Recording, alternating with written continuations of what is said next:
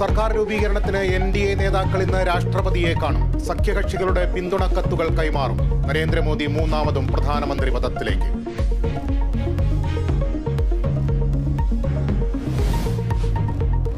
K മുരളീധരനെ അനുനയിപ്പിക്കാൻ Congress. K P C C അധ്യക്ഷൻ K Sudhakaran നേരിട്ട് കാണും. തൃശൂരിൽ വീണ്ടും കോൺഗ്രസ് നേതാക്കൾക്കെതിരെ പോസ്റ്റർ പ്രതിഷേധം. ബി ജെ പിയുടേത് മുഖ്യമന്ത്രി സ്വർണത്താലത്തിൽ വെച്ചു നൽകിയ വിജയമെന്ന് M M Hasan.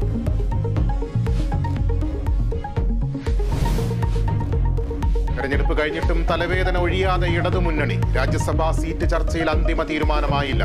വിട്ടുവീഴ്ചയ്ക്കില്ലെന്ന് Kerala Congress M. മന്ത്രിസഭാ പുനഃസംഘടനയും ഉപതെരഞ്ഞെടുപ്പും വെല്ലുവിളി.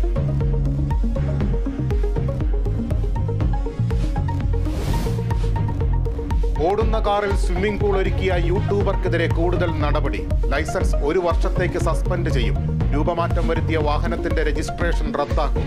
നടപടി മോട്ടോർ വാഹന വകുപ്പ് ഹൈക്കോടതിയിൽ നൽകിയ റിപ്പോർട്ടിന്റെ അടിസ്ഥാനത്തിൽ. മലപ്പുറം മൊറയൂരിൽ സ്കൂൾ ബസ് മറിഞ്ഞ് പന്ത്രണ്ട് കുട്ടികൾക്ക് പരിക്ക്. അപകടത്തിൽപ്പെട്ടത് Morayur V H M higher secondary സ്കൂളിലെ വാഹനം.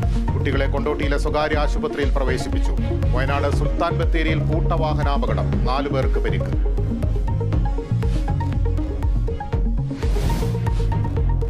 ആലപ്പുഴ മെഡിക്കൽ കോളേജിൽ ചികിത്സാ പിഴവെന്ന ആരോപണം നവജാത ശിശു മരിച്ചത് കൃത്യമായ പരിചരണം ലഭിക്കാത്തതിലെന്ന് ബന്ധുക്കൾ. മെഡിക്കൽ കോളേജിൽ ബന്ധുക്കളുടെ പ്രതിഷേധം.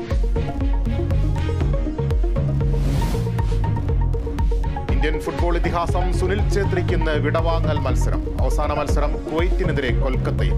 ട്വന്റി ട്വന്റി ലോകകപ്പിൽ പാകിസ്ഥാനെ നേരിടാനൊരുങ്ങി ടീം ഇന്ത്യ. മത്സരം ഞായറാഴ്ച.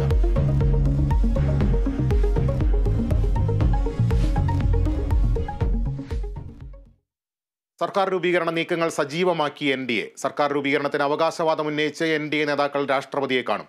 കഴിഞ്ഞ ദിവസം ചേർന്ന മുന്നണി യോഗത്തിൽ ഘടകകക്ഷികൾ ബി ജെ പിക്ക് പിന്തുണ പ്രഖ്യാപിച്ചിരുന്നു. ശനിയാഴ്ചയായിരിക്കും സത്യപ്രതിജ്ഞ വിവരങ്ങളുമായി കെ സി ഉണ്ണികൃഷ്ണൻ ചേരുന്നു. ഉണ്ണി ഘടകകക്ഷികളെ എല്ലാം അനുനയിപ്പിച്ച്